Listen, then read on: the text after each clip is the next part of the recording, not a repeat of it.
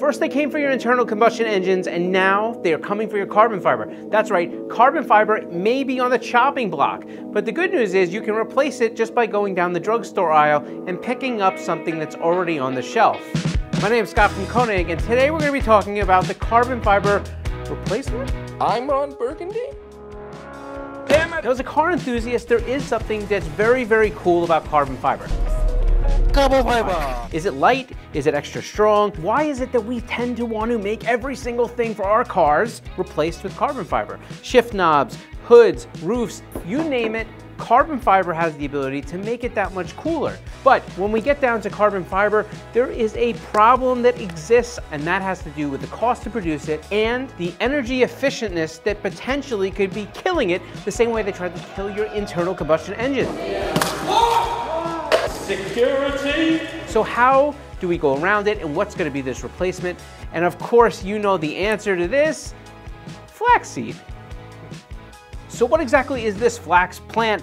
It really has become something that could be super interesting. In fact, in 2019, BMW's Formula E-based IFE 20 carried a lightweight cooling shaft that was produced from flax, a plentiful flower plant often found in northern parts of the US and western Canada.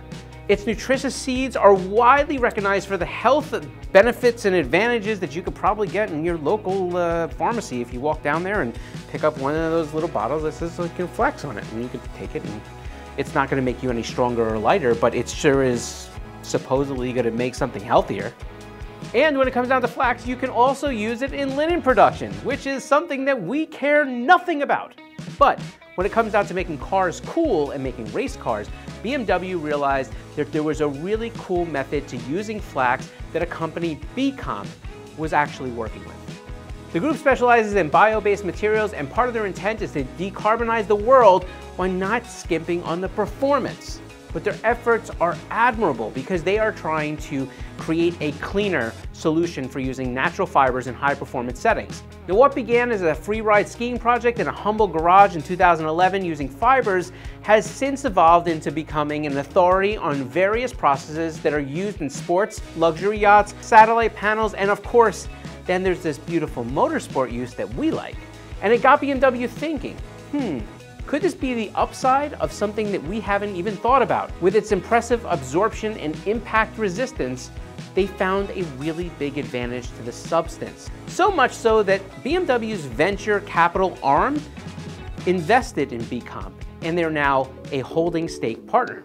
I'm the co-founder and CEO of, of Bcomp, and uh, what we do is really taking flax, you all know from, from the linen textile industry, so it's the same fiber, materials to make high-performance bio-based solutions. You can use them in race car body panels, in supercar body panels. More importantly, to really have impact, you can also use them in interiors, such as seat backs or, or side panels in, indoors, make things much more lighter, so we can we, we, we achieve all, all the way to 60% weight reductions, and also we decarbonize. So when we replace these carbon parts or these plastic parts, we take out all the way to 90% of CO2 footprint in terms of embodied energy.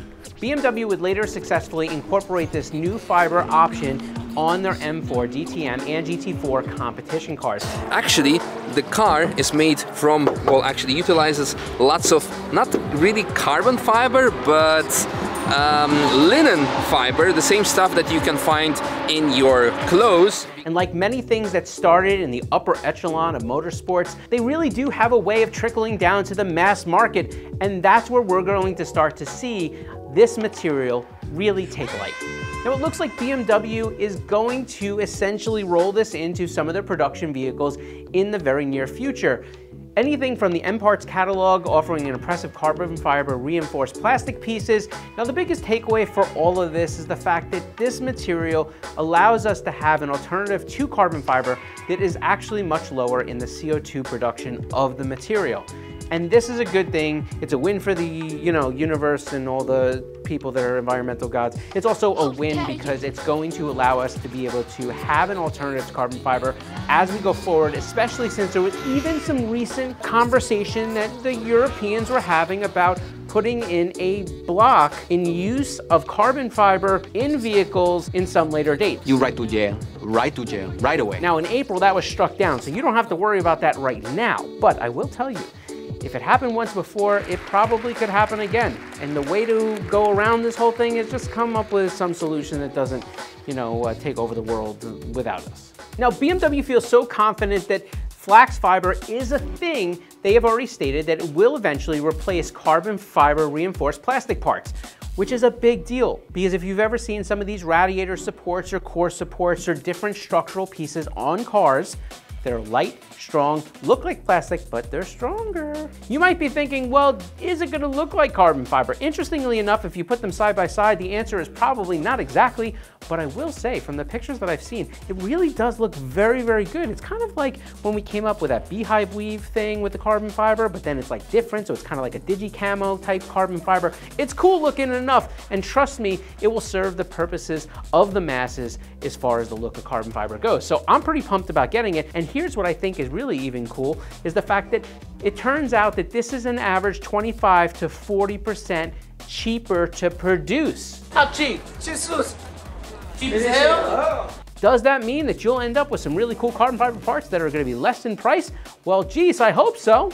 All right, so is carbon fiber going away in totality? The answer to this is no, and you knew that before you watched this video, so don't, I don't wanna hear this clickbait stuff. But look, here's the deal. This is a real alternative, and it's a way that some of these companies, especially the OEs, are going to expand your alternative uh, options for using different composites. And it's important to know that while flax uh, may not be exactly the same in the strength to weight ratio as carbon fiber, it's gonna give us a lot of great things that carbon fiber gives us with less energy used. It's gonna be more sustainable. It's gonna be more environmentally friendly. It's gonna be cleaner.